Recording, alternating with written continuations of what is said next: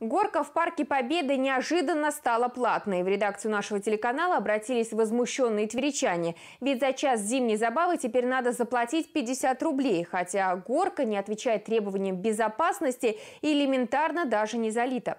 В скандальной истории разбиралась наша съемочная группа о том, как изменилась ситуация после вмешательства средств массовой информации. Увидите прямо сейчас. Раньше эта детская зимняя забава была в Парке Победы бесплатной, рассказывают тверичане, которые регулярно приходили и приходят в парк. Поэтому новость о том, что с конца прошлой недели за катание на горке нужно заплатить, причем за час 50 рублей, сильно удивила и возмутила многих. Мы в воскресенье платили 50 рублей. Мы покатались час ровно, нам сказали, горка закрыта. Во-первых, ни льда нету на ней, ничего. То, что снег нападал, если вот такая горка, одно дерево и 50 рублей, я считаю, это, это как бы дорого. хотя бы чтобы был. К тому же никаких чеков после оплаты здесь не дают. Но, как уверяют на месте работающие сотрудники, с вечера пятницы они будут выдавать официальный документ об оплате услуги. Она частная собственность э, нашего начальника. То есть он ее за свои деньги строил.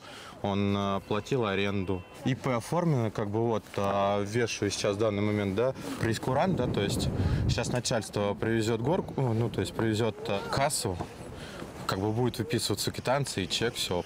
Как выяснилось, горку соорудил здесь частный предприниматель, получив в аренду участок. К началу зимы бизнесмен построил деревянную горку, а после решил на ней заработать. Предприниматель объяснил, что должен платить сотрудникам, которые разгребают снег и отбивают от льда ступеньки, а также следят за детьми. Но, как мы видим, снег на ступеньках не убран, и дети с большой опаской поднимаются наверх горки. Руководство МОВ дирекции парков, проанализировав общественное мнение и обращение жителей, приняло решение определить ежедневный бесплатный часы работы горки в парке с 12 до 15.00, включая выходные.